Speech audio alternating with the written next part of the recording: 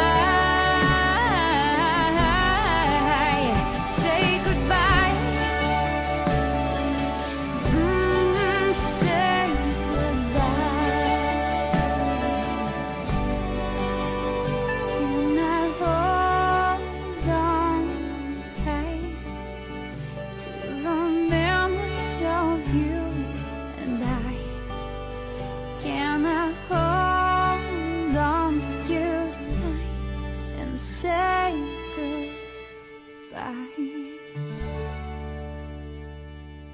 Love can survive anything.